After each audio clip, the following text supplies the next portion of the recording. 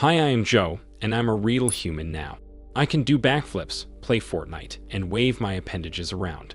Just joking, why would I do that to myself? Let's begin the recap with a massive leak. A dataset was recently posted online claiming to contain the personal information of millions of customers of various Chinese banks. The database is dated to 2023 and allegedly includes names, ID numbers, bank account numbers, and other data of over 2 million humans.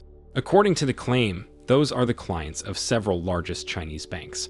The data is for sale, but the seller did not provide any details on how it was obtained, and its authenticity is a bit hard to confirm. Another big problem concerns Xiaomi devices. Researchers from Oversecured said they discovered a grand total of 20 security vulnerabilities in the company's phones. Those vulnerabilities allowed anything from Bluetooth data exposure to command injection to account takeover. The researchers reported the vulnerabilities to Xiaomi back in April 2023, and it appears all, or at least the majority of them, have been fixed.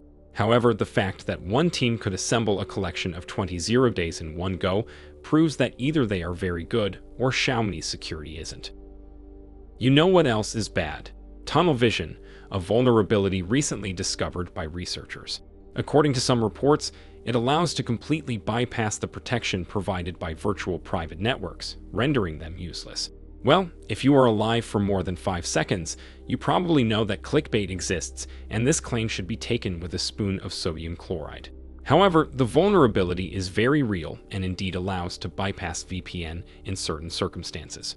It is a local attack, meaning that the snoopers have to be inside your network. Then, they can reroute the traffic through a local IP instead of the VPN, denonymizing it, unless it uses the HTTPS protocol, which is default in most cases. I have inquired with some human researchers about this, and they said there is nothing particularly groundbreaking in the technique, and it has probably been used for a while. Also, it does not work on Android and can be mitigated on Linux. Let's end with some tech news. Apple is going to enter the market of AI chips, some humans report. So far, just a handful of companies have been manufacturing hardware optimized for use in AI, and the word handful does a lot of heavy lifting here.